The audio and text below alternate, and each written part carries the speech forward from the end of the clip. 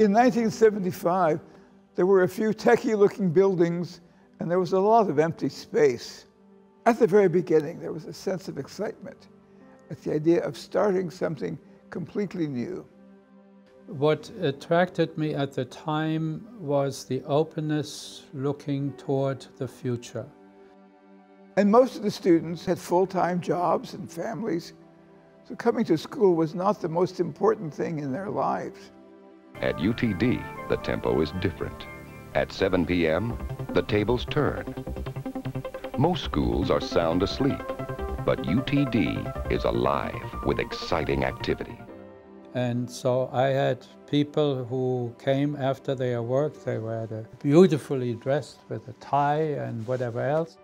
They were interested in getting an education by which they could live. In 1990, they started admitting freshmen and sophomores. And it was like night and day. The kids who came right out of high school were here full time, so they cared more.